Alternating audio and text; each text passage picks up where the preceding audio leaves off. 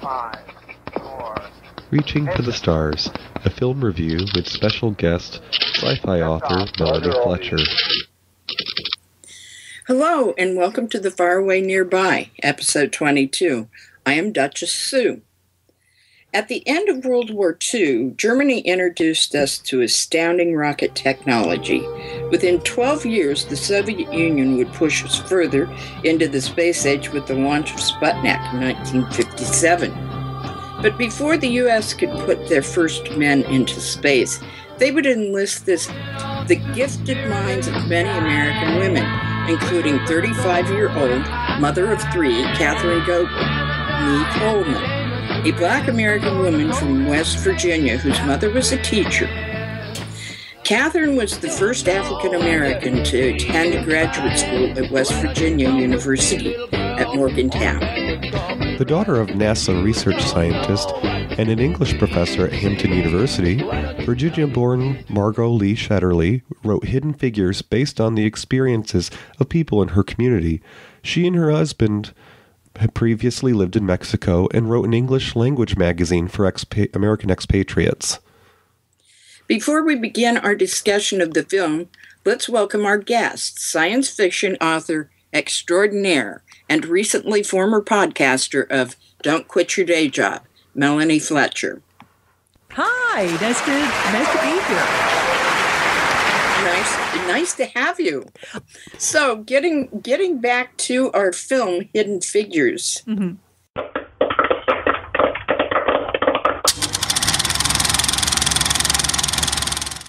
What was the most important moment in the film do you think?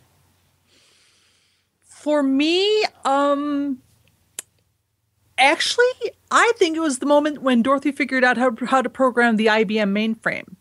And my reasoning is there there were important moments like where when Harrison tore down the colored bathroom sign and when he basically informed his team that they were all equal and he was not going to be allowing any sort of bigoted bullshit with coffee makers but Dorothy did it on her own. She went in there, she saw the mainframe, she knew what had to be done, she taught herself Fortran. And after she got it running, she wound up providing jobs to all of her computers who were going to be put out of a job by that mainframe. So I speaking for myself, I think that was the most important moment in the film because that really said, yes, we are here, we are competent, we are capable, and you have to stop ignoring us. And I think it should be said in the beginning of our show here today that even though this is a film review, there's no such thing as spoilers when it comes to this movie because it was part of history. So I'm sorry if you didn't read the book and you didn't pay attention to history, be prepared for a surprise. and what did you think the most important part or moment in the film was, DJ? I think I would have to agree with Melanie that when Vaughan figured out how to learn Fortran. She provided a future for not only herself but her peers. That showed ingenuity. You know, she wasn't going to stand and let people take advantage of her and tell her that I'm sorry, you're no longer useful anymore.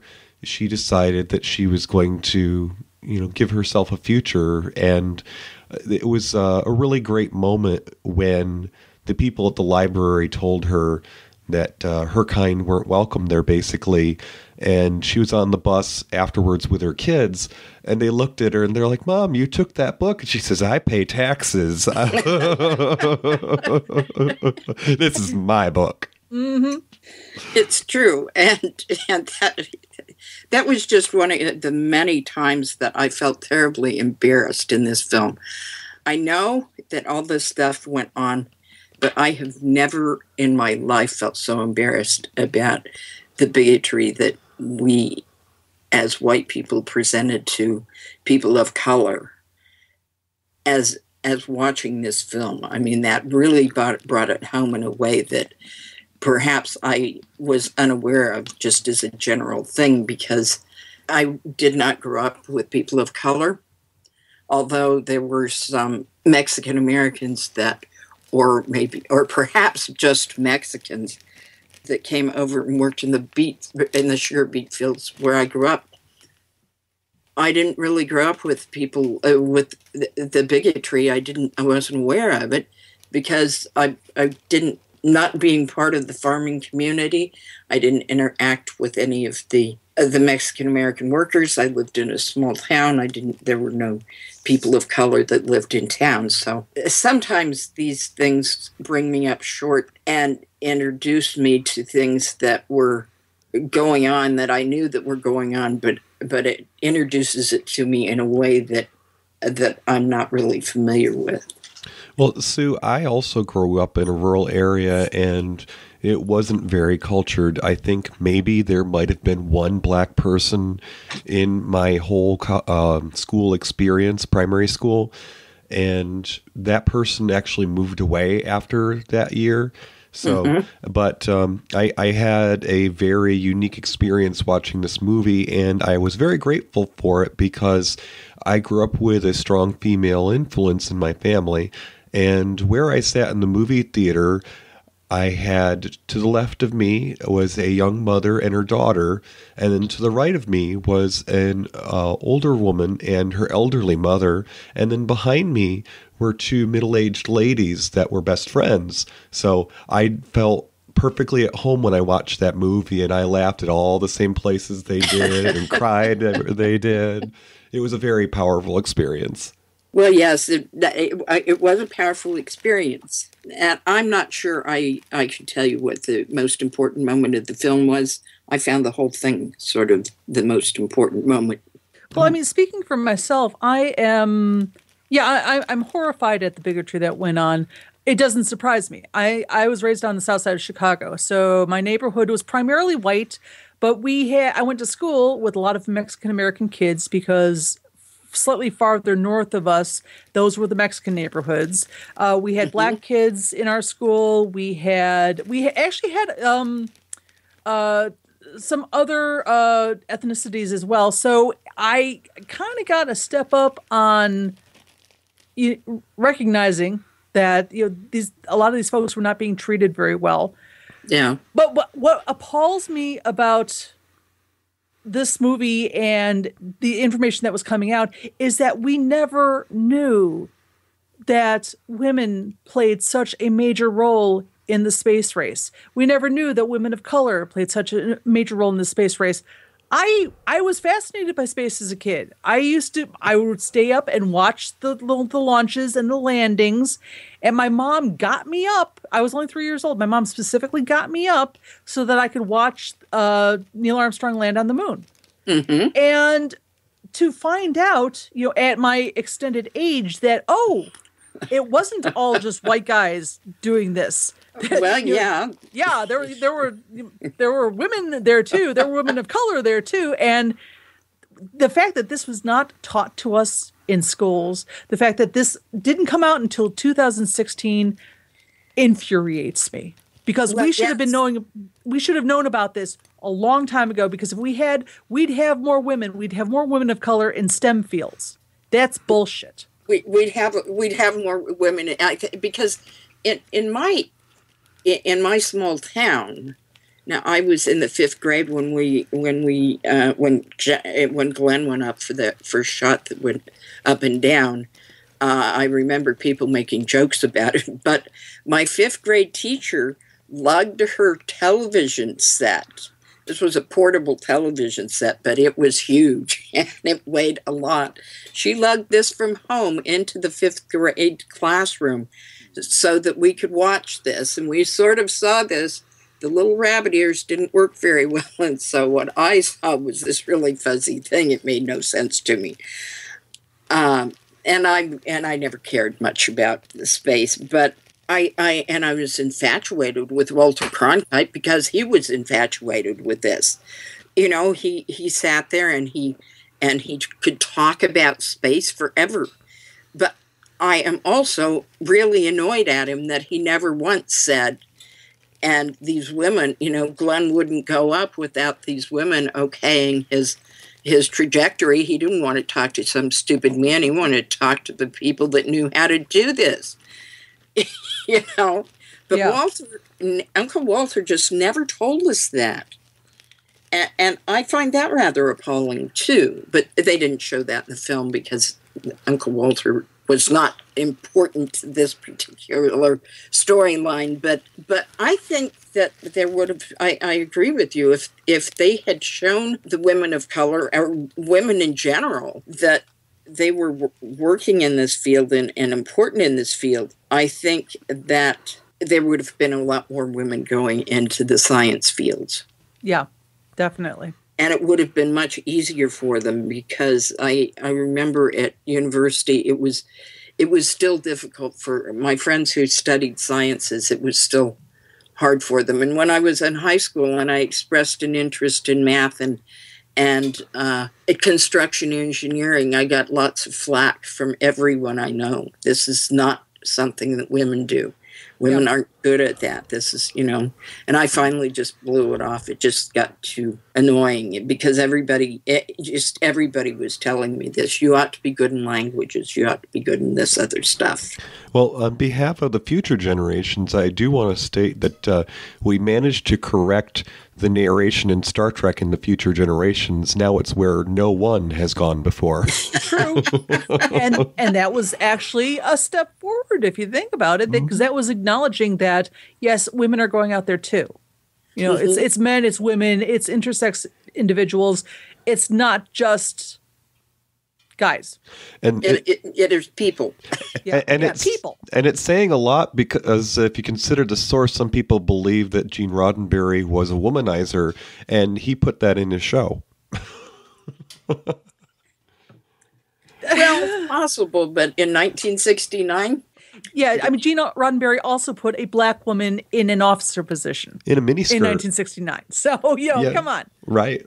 In so, a miniskirt. Yes. Every woman I know in 1969, except my relatives, wore miniskirts. That mm-hmm. was a that was a fashion choice. What are you going to do? Right. Yeah, I, just that was. so, and, and not only not only that, he also had the first interracial kiss on television. True. So you know, if if Gene couldn't keep it in his pants, okay, that's an issue. But I'm not going to fault him for recognizing that women are not just sex objects because mm-hmm. yeah. he, he he tried to he tried to push the boundaries on that. So I, I give him credit where credit is due.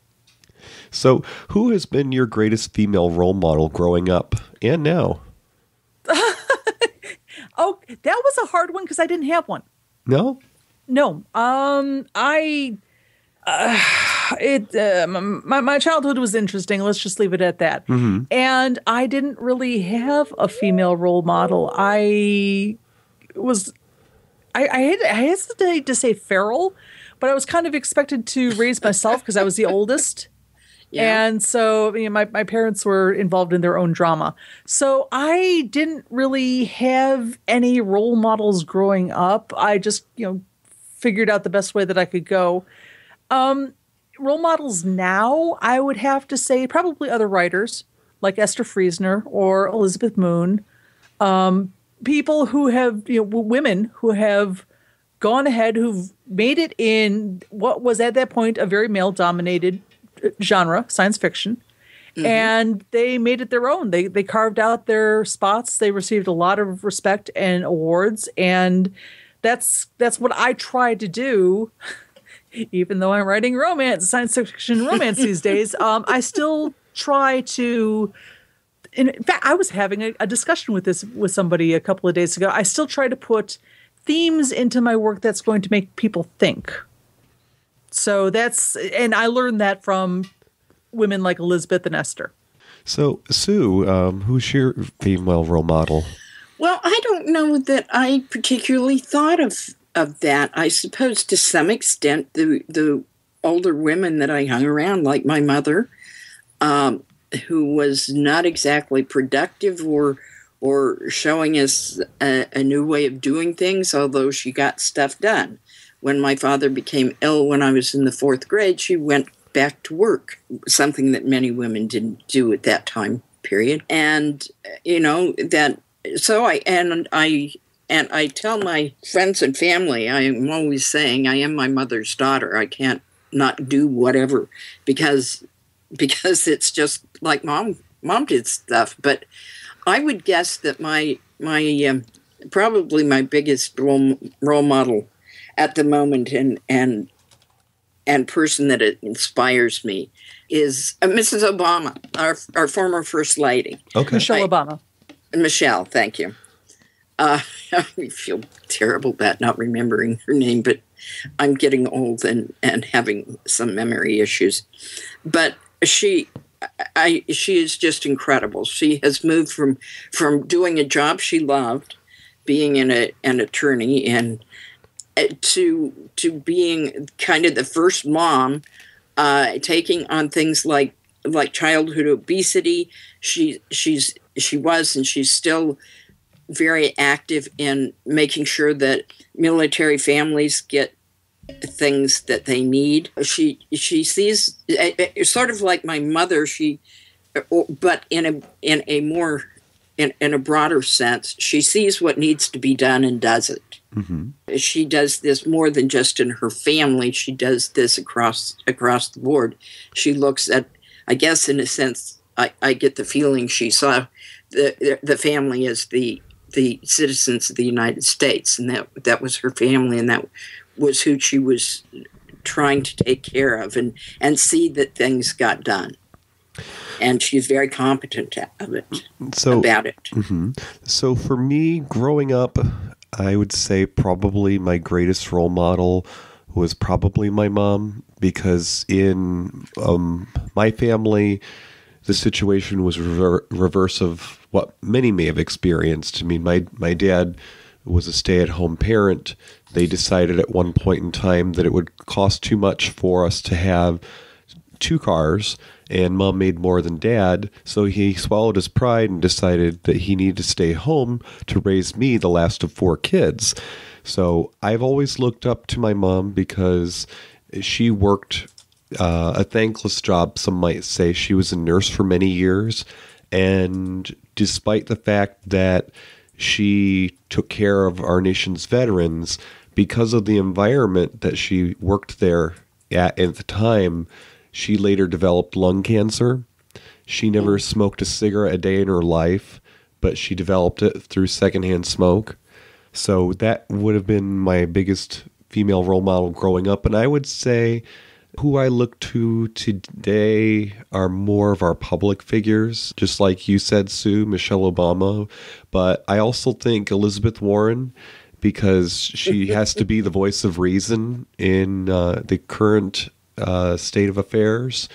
Um, I have also looked up to many women over the years. Um, I grew up, well, actually, I didn't grow up. I was born in a town that uh, former astronaut Eileen Collins had gone to school in. She went there for high school, a little town called Elmira.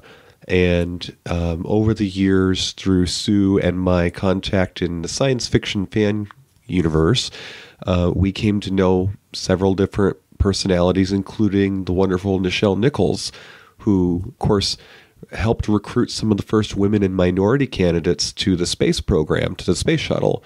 So I reached out to Eileen Collins, having been born in her hometown, so to speak, and I wrote her a letter saying that we were going to go to a convention that Nichelle was going to be at, and she sent me an autographed picture for myself and Nichelle at the time. So I would say that those are some pretty important figures. Also, just going back to what both of you had mentioned about um, your early experiences with the space program and watching it. I was in, I want to say, the second grade when the Challenger disaster happened. I remember uh, having the television on in our classroom and waiting for the launch to happen. And of course, there was a delay, and we ended up going to gym class.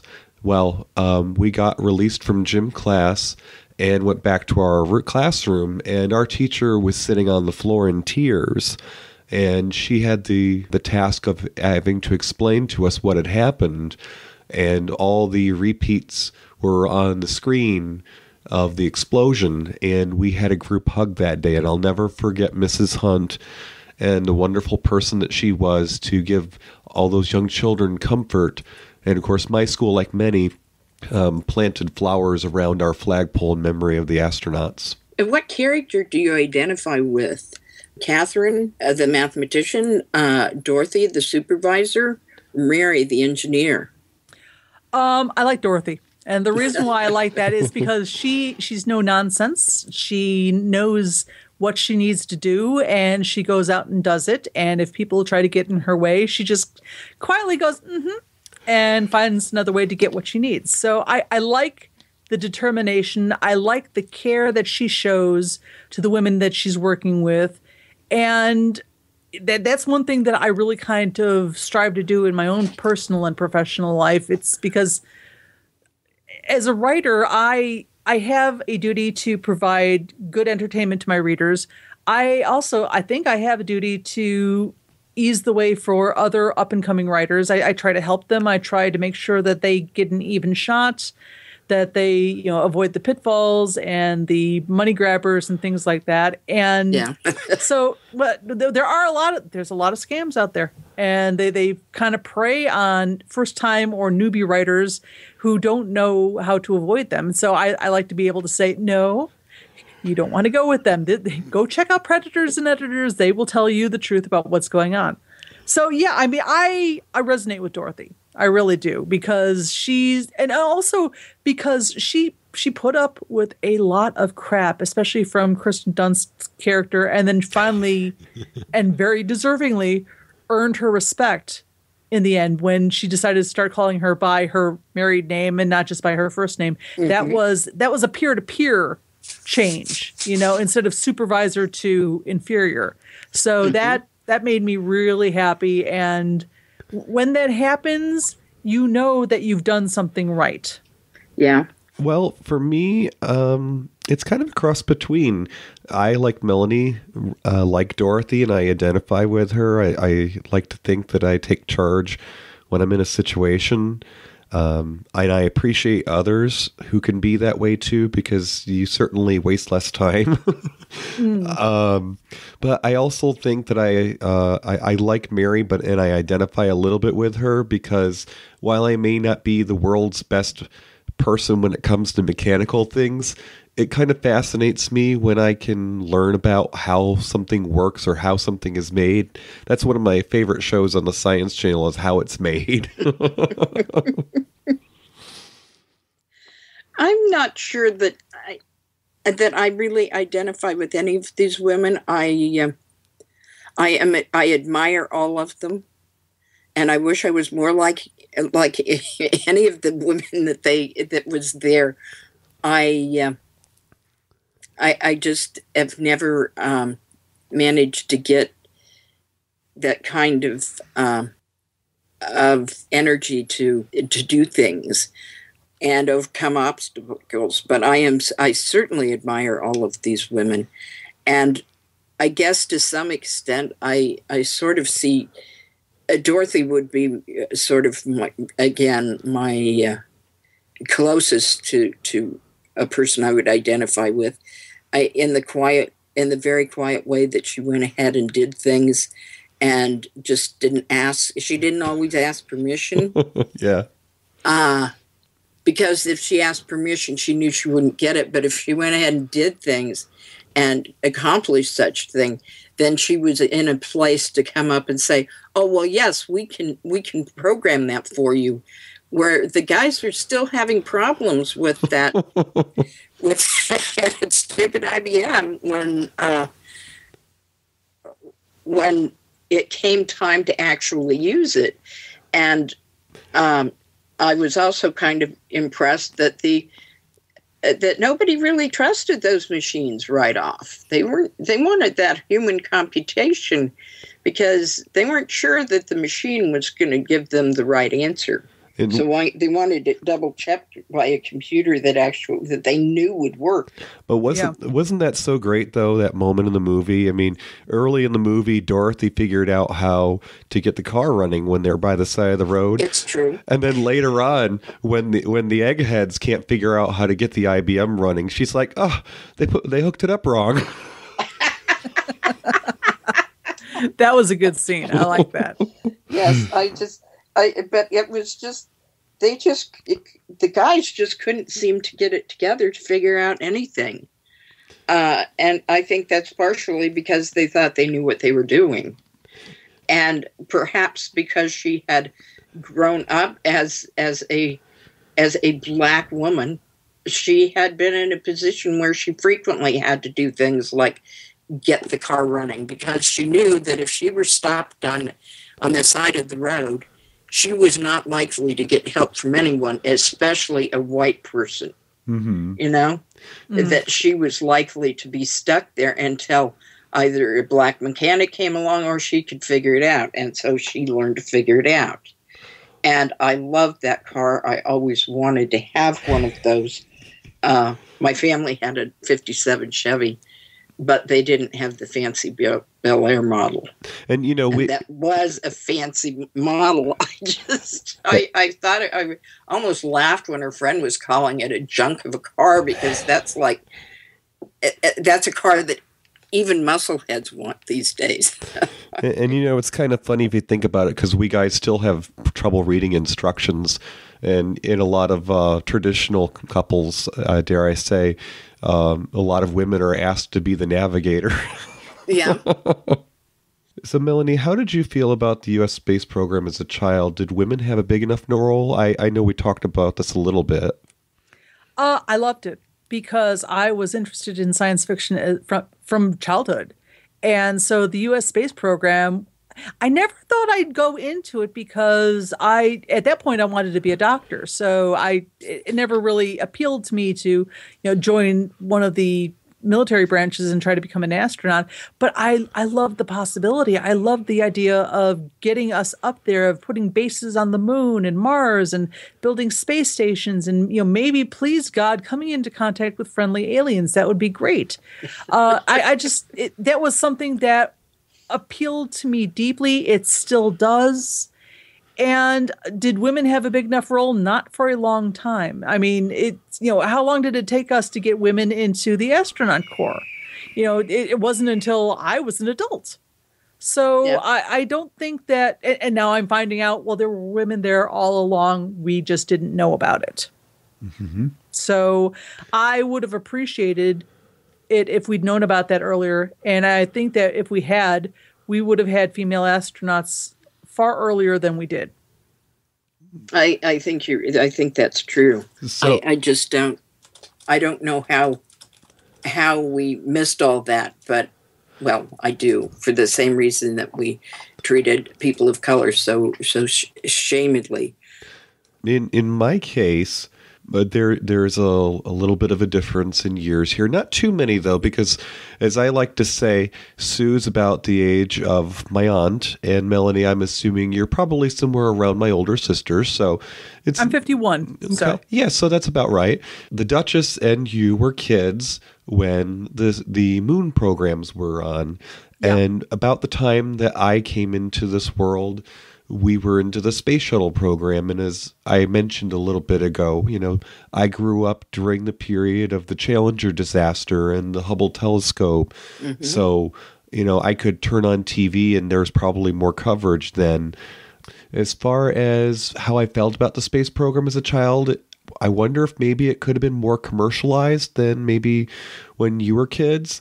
I remember having building block toys that had elements of the space program in them. Yeah. I remember, uh, and we'll get to this later, movies about the space program. So it was certainly more commercialized. But I think, as far as women having a large enough role, you know, there there were women in important roles, but it sounded like the only times you heard about women having a role in the space program, it was when you know we were achieving, we are breaking new boundaries, like Eileen Collins, the first woman to pilot the Earth, you know, a pilot to shuttle in orbit around the Earth. Okay, well, is there a, a navigator or you know payload specialist that's a woman that's uh, on the space shuttle? You know, we didn't hear about these things. Women were just. It was like they were planned out to be put into these roles so they would be visible. You don't have women consistently in the program. Um, I, I think to a degree that is true. I, I would like to see more women. Um, and you you are right. I mean, we we got to see the firsts. We got to see Sally Ride, We got Yeah. to see Eileen Collins. And then it was kind of like, oh, well, we, we aren't going to mention all of the mission specialists and the payload specialists. And that would have been useful to have them out there. And, and the ones on, and not only the, the astronauts, the ones on the ground, the engineers who were in mission control. I'd like to see some of the women who were there. And we we didn't really start seeing that until I think maybe the late 90s. Well, I don't know. I I was not terribly interested in space. I was more interested in things going on on Earth, political science, and things of that nature. But I don't remember people. I don't remember women in the in the control room. uh, You know, in the mission mission control. Yeah, okay. I, don't get the, the, the I, there were not women there until until pretty recently. I'm not sure when the when we lost the first uh, shuttle there were any women in the control room. I and I'm not sure when I, I don't think there were any women in mission control when level didn't go up uh, and they had the problems with the oxygen. Well, according to, you know, Apollo 13, there were definitely no women in the mission Yeah. control there. So, So I don't know if they were in the control room, but they obviously were still around. Working there, yeah, yeah. Because uh, in in the, in the book, Hidden Figures, they talk about uh, the the women that they that she is covering still being there Mhm. into the into the nineties and stuff. So they must have been uh, still being uh, doing doing those kinds of things. And I'll bet when they went into those conference rooms to figure out the what they needed to do to get them, you know, to, to get them oxygen and keep them alive. I'll bet there were women in there because these same women and and other people that worked with them. yeah, you would have think you'd have Mary in there working you Yeah. know, as one of the engineers trying to figure out, okay, how the hell are we going to get these guys home? Right? Yeah, the, Mary and the other 300s and some women that worked there uh, doing those things, I'm sure that they were there. They just didn't depict them. So Yeah. we never it, it we never saw them. It was sort of like the uh, the things that we never saw black people do. hmm You know, Yeah. when they when they made strides and things, we we just attributed it to uh, to white people mostly. Yeah, yeah, very much so. So, so and and and I think we did the same thing with men. Were there other films that depicted the space program that you liked, or or do you have another favorite film about the depiction of the space program? Um, this is it depends. If you're we're talking strictly films, I like the right stuff. Because because I just I really liked the way that it kind of showed the background of although as we now know it was not accurate or not totally accurate because it left out all of the female computers. But I do like how it, it detailed the beginning of the space program going through Gemini sorry, Gemini. Gotta use their pronunciation and um, and leading up into leading up to Apollo. But my very favorite media presentation dealing with the space program is from the Earth to the Moon. Yeah, And that's because that was the Tom Hanks miniseries. We have it on DVD, and every so often I pull it out and I, I just watch it in sequence because it was it was detailed, it was humanistic, it showed not just the drama around the space program, but the, the human element that went into it, the the pressure it put on the astronauts' wives, um, the basically the, the politics that went into it, all the backroom deals that had to be cut in order to keep this going, and now that we can add hidden figures to that, we have more of a complete picture of what was going on in order to get us to basically to the moon. Uh, So- well, yes, this is yeah, this is true. I noticed that in the chat room there are people mentioning uh, the books, uh, books like A Wrinkle in Time, uh, and again, I I didn't. I, I didn't wasn't interested in space, so I didn't read these. But also a, a book uh, called uh, "Have Space Suit Will Travel," That's me. Uh, uh, my two seminal books that really got me started off oh, in that, science oh, fiction. Okay. yeah, what was Wrinkle in Time and Have Spacesuit Will Travel mm-hmm. by Robert Heinlein. That was one of his juveniles, and those are the two books that basically uh, crystallized my fascination with travel, with with space travel, and science fiction in general. So, I'm sorry, I ha- I sh- I'm supposed to be the one who's reporting on what's being said in the chat room, and I, have been slacking. And I would like to apologize to Toppy Smelly about that and Good Humor Penguin because I suck. So yeah, Melanie, to read this, but I just happened to notice that that we had had a, quite a bit of activity. yeah. Melanie, uh, Me- Melanie, mentioning that he had a doll when he was a kid called Major Major Matt Mason, astronaut. Yeah. Melanie, I'm going to have to ask you to move to the front of the class, please. Sorry.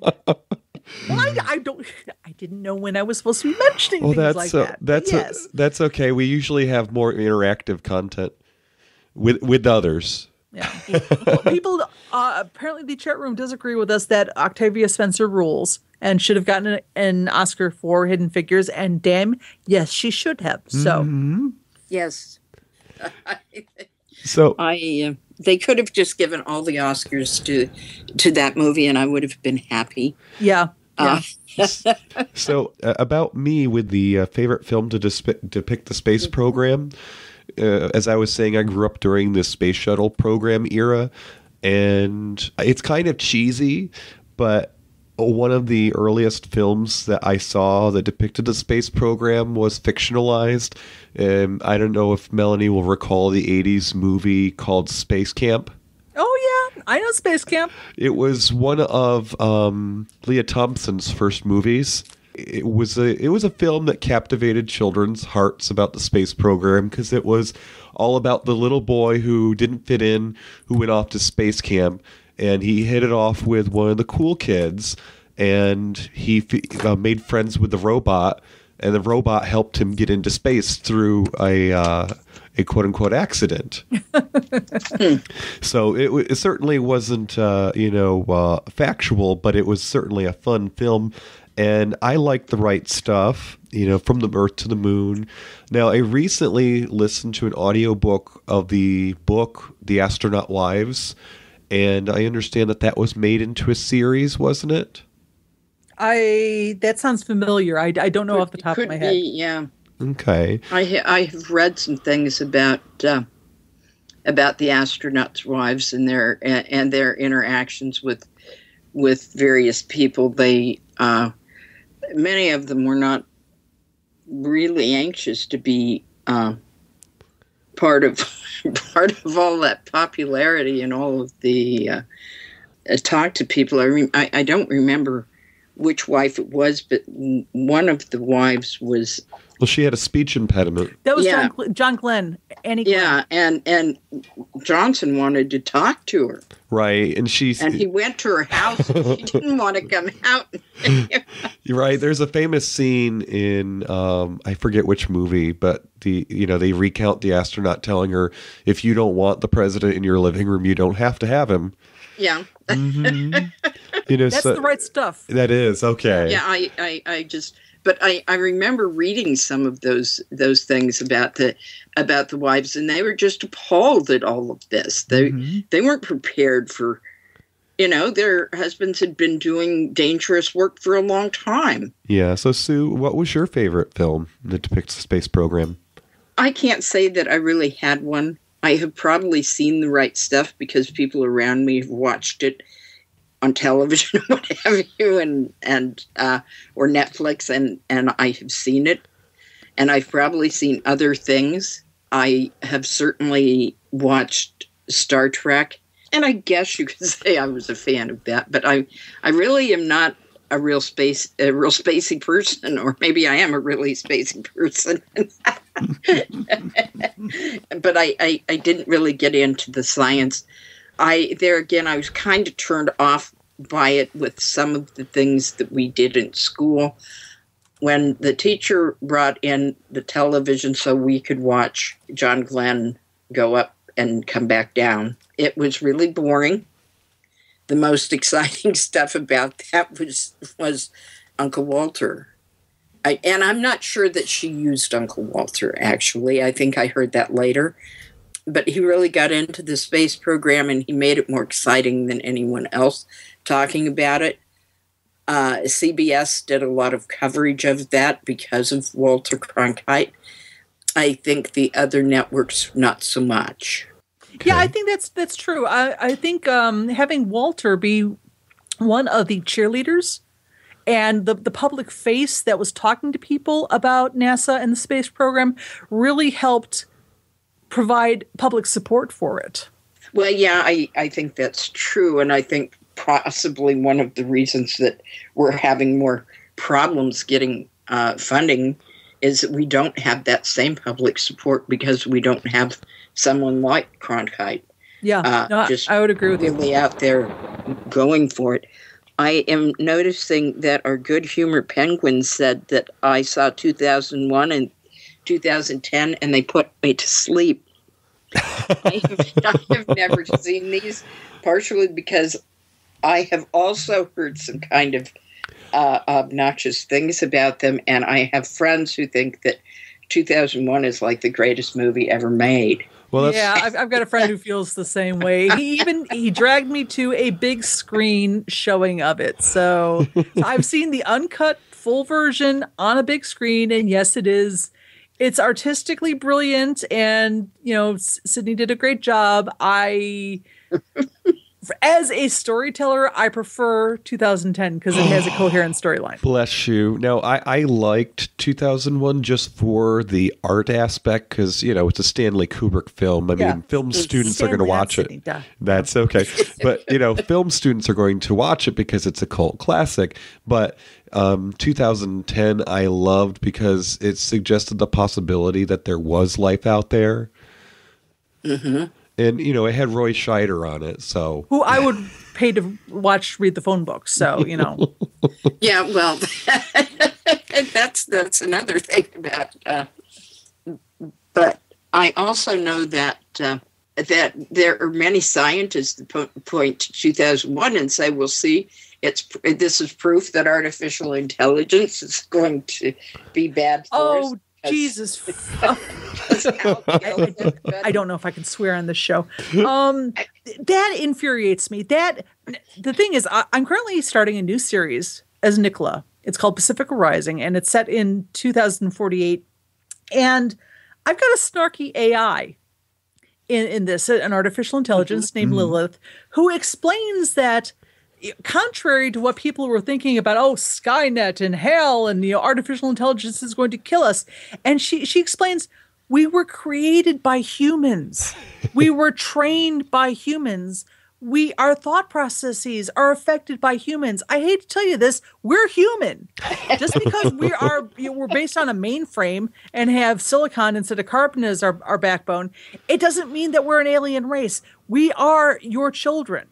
And yeah. I, I loathe movies that assume that, oh, well, you know, because it's an AI, it's going to go evil and it's going to destroy everything because you know, they, they don't understand humans. Of course, they're going to understand humans. We are the ones who created them. Mm-hmm. That, that's well, that's sloppy and overly melodramatic thinking. Yes, but uh, but based on that idea, I'm sure one or two of them could turn out to be bad. Oh well, yeah, but, but I mean to assume that uh, you know the first AI is going to pop out of wherever and immediately you know target all of these military satellites to destroy the Earth and, and take over. No, that- uh, and a, a recent movie that really chapped my nads about this, Transcendence. It was the Johnny Depp movie where he his in, his consciousness gets uploaded into a computer and they wind up destroying the entire damn computer network of the earth to pre- to prevent him from what they thought was going to be he was going to take over oh. and and destroy everything. And it turns out oh no he wasn't. We listened to a sullen blonde girl with an eyeliner uh, addiction and pre- pretty much shot ourselves in the nads because she was telling us that this was a bad thing. And I, I walked out of that movie thinking fuck me blind. Okay, what is wrong with these people? You had a great concept here, and you shit on it from about the midpoint onwards. Okay. Well, well you know, M- Melanie, that proves one point, though. It's it's uh, telling us that our future leaders are the reality TV stars. oh God, no, that's terrible. Uh, but but there are scientists like um. Oh God. As if we didn't know. Entering goblin spawn, yeah. yes, but, but um, well, it, not Charles Sagan uh, because Her. he's gone. But Neil deGrasse um, Tyson? No, Neil doesn't think that they're going to kill us either. Stephen Hawking? Now, Stephen, Stephen Hawking, Hawking has said that. Yes, oh, the person I was thinking of.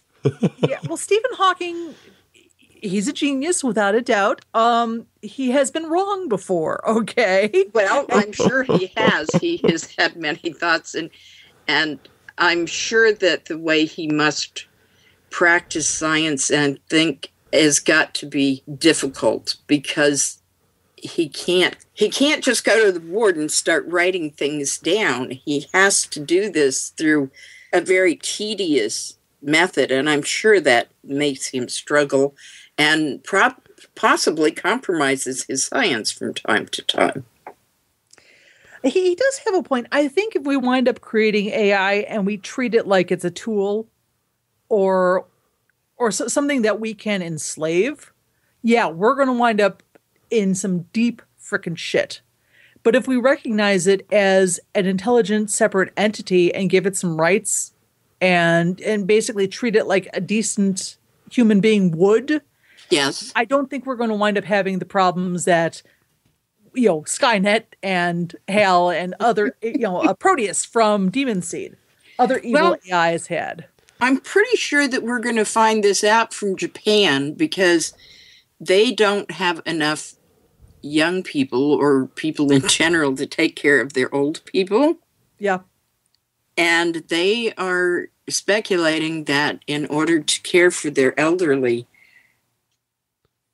they are going to need to have uh, personal uh, interactions with uh, with robots uh, to to care for you know to care for the elderly and do some of the real intimate things that not even a lot of people want to do but that need to be done as yeah. one gets older and and infirm and not able to take care of oneself so mm-hmm. We'll see what it is that is going to happen with robots and and human interaction i think and we'll find that out from japan i i don't know I, I don't think the United States is that short on on young people, and I don't think Europe is either. I think Japan is has been pressing that problem, and I think also China is going to run into that mm-hmm. because of their one-child policy. Yeah, true, true. There is going it's going to become a mushroom shape eventually because you're going to have a, a large older population and not enough young people coming up. So uh-huh. that that you're, you're absolutely right. That's going to be something that's going to be very interesting to watch. Although with our luck, we're going to wind up getting an AI that loves anime and um, wants to dress up like Sailor Moon. So, like, as long, as long as they'll feed me and help me take a bath, I don't care. So um, I, am not a big enough fanboy to know the the chants or whatever from Sailor Moon, but I'm sure that instead of OK Google and OK Alexa, you know, the command to awake your robot is going to be something from Sailor Moon. yeah, I can see that too. There, there was a cute animated uh, series done. Oh, I want to say almost ten years ago, but uh, it was called Chobits. Have, are you uh, that I've heard of it. Yeah, yeah, I've never actually seen it. Um, I don't know a whole lot about it. I had a college student living with me at the time that I was introduced to it. But it's Japanese animation, and the idea is this this uh, kid puts together a robot and brings it to life and I guess maybe uh, the robots are only something that the wealthy people have. And so he was um, kind of shocked to find this robot just kind of discarded. But it's a it's a girl robot, and you know hijinks ensue. But um, sounds good. I don't know. Um, um, before I go on to our uh, one of our last questions, I was just going to say you know, you might be able to reflect on this a little. It's not really a question, Mel, anymore as a comment, but we were talking about uh, 2001 and 2010, and I wanted to just make the comment that for a time I had a hard time uh, getting myself to read another Arthur C. Clarke novel because at one point, and I think this is when I was in high school, it was it was brought to light that Arthur C. Clarke actually did not believe in the possibility of life on other worlds. So I just thought, well, you hypocrite, you write about it. well, the thing is, the job of a writer is to bring a story to life, to touch the reader, and to make the reader think. It, what the writer is writing about does not necessarily reflect their own personal beliefs or their own personal practices because if it did, you know, we, would have we'd all be giving a, a real side eye to E.L. James at the moment. So if, if, he doesn't believe that there's life on other planets, that's cool. That, that he's entitled to, well, he was entitled to believe that. Right. He's um, but the thing is, his writing inspired people to say, well, maybe there is. Let's look. Mm-hmm. Let's implement the SETI program. Let's keep an eye out. Let's see if there is anything out there. And there may, I, I personally find it very hard to believe that we are the only sentient life form in the entire damn universe. But you know, maybe we'll meet them eventually. Maybe we won't. Maybe we'll wind up blowing up the planet first. Who knows? It's true, and possibly they're hiding out from us because we are so crazy. Yeah. Right. I mean, they, they, okay, we probably live in the hood. Okay, they're, they're going like, oh, that's the solar system with the little ring planets, seven planets. No, no, no, no, no. Don't go out there. Meat. They're made of meat. We're, we're you, you know what meat's like. Just don't go there. We're forgetting they've already seen our TV and heard our radio. Do you think they want to meet us now? Do you realize what the very first it, actually um, Contact had this, and they were right about this. Do you realize what our very first television broadcast was? Yes, but I'll let yeah. Sue answer I that. I don't, I don't remember that. No, Adolf Hitler opening up the Berlin Olympics. Oh, really? Yes. Seriously. that's that's our uh, ambassador. Yay! Oh yeah. there wasn't anything that went out. None, none of the like uh, jive music things or none of that stuff went out. Well, this would have been I mean, in the 40s, right, Melanie? Yeah. Well, okay. uh, uh, I believe very late 30s. Okay. Yeah, because the, jive, the jive music stuff was around that time too. Yeah, but that, that was our first um, uh, TV broadcast. Oh, that was the first TV broadcast. Yeah, so the radio broadcast would have have hit sooner. So, so the aliens are probably thinking, well, they got really great music. Right. Yeah. They're just run by maniacs. So yeah, once again, we'll we'll we'll sync, you know, we'll sync up the music. That's great. Just don't go there. Mm-hmm. Just don't go until they show that they can be a little bit more intelligent. Let's just slide by, you know. Right. Yeah, and and if you think of some of the things that we some of the leaders that we have had had have and have. yeah. All depends on your point of view and frame of mind and whatnot. Mm-hmm. so, will landing on Mars ever capture the spirit of passion and competition that the Apollo missions did? That's all going to depend on PR. Because what part of what prompted us to go to the moon was one, honoring the memory of President Kennedy, mm-hmm. and two, beating the Russians. So we had this huge uh, patriotic thing going where we're going to go to the moon because that's what Kennedy wanted us to do, and we're going to beat those darn commies. We would need something like that right now. If, if in order for the U.S. to go to Mars, frankly, I don't care who lands on Mars first. If it's the Chinese, fine. Right. If it's the Russians, fine. If it's the Indians, and do not put it past them. India has a kick-ass space program. Fine, yeah. I don't care. I want I want a human to land on Mars. I want a yeah, I think to start I, a pot. I, I, think it doesn't make any difference who does it. Yeah. Um, we might have a say it, it, it, depending on the nationality of the people who get there first we may have a slightly strange uh, what what we in the United States might think of as a slightly strange uh, structure, societal structure up there. Mm-hmm. Very possibly, you know? but you know what? Whatever gets us up there, that's fine. But yeah, and and just being up there is going to change that structure anyway. So, and I'm not sure that at this point in time in the United States that we have a better societal structure than anybody else. Uh, yeah. You know? I would have to.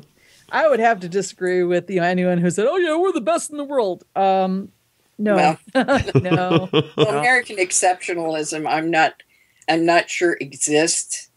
Well, I, I think, I think that it was a good thing for encouraging us to do things. I think the idea of American exceptionalism is has helped us to to change our society and to improve our society and to stop doing some things. I think the civil rights movement in the in the 50s and 60s that we we went through, I think that helped. But I I'm I'm pretty certain that we could use another civil rights movement at the moment because I don't think we've gotten nearly as far as we think we have. no, no. Melanie, can you let us know where we could find you? Um, well, right now, uh, MelanieFletcher.com is my personal and science fiction website. NicolaCameron.com is my science fiction, fantasy, and romance uh, website. I have a new book called Degree of Resistance. It's Pacific Rising 1. It is a science fiction romance. It is very even, and for people who go, I don't want to read romance, this is perfectly balanced and I've had beta readers who've told me this perfectly balanced between science fiction and romance. It's I my my tech is solid, and there are going to be at least six books in this series and novellas and two prequels. So it's going to be really really awesome. If you like science fiction, go check it out. It is available in ebook format from Amazon, Barnes and Noble, Kobo, iTunes, Smashwords, pretty much anywhere. Mm-hmm. And I'm going to be having an alternate history mystery come out under Melanie Fletcher in April. And that's going to be called Most Malicious Murder. And as people who might be familiar with this, alternate history is when you take a point in history and you change it and you extrapolate what would have happened. Well, in my book, Edgar Allan Poe did not die in 1849. And in 1851, he is married and on a book tour in London when he gets basically framed for a murder in Oxford and has to solve it with the help of a shy, stammering undergraduate by the name of Charles Dodgson, who, for those who don't recognize the name, will grow up to become Lewis Carroll. Mm-hmm. Hmm.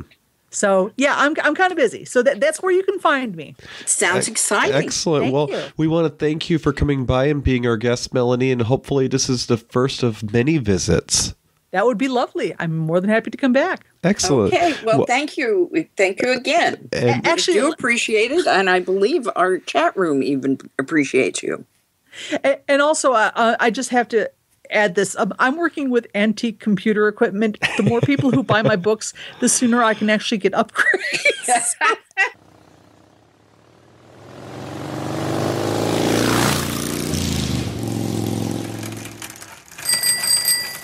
Thank you for listening to The Faraway Nearby.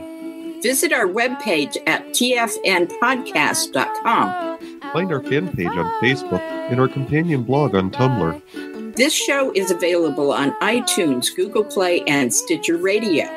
Email us at tfnpodcast at gmail.com. Follow us on Twitter at TFNDJ. And call or text us at 720-230-6919. This show is a member of the Pride 48 network. Find other shows at pride48.com.